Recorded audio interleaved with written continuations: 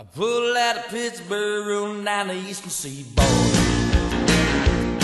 I got my diesel wound up, she's running like never before. Well,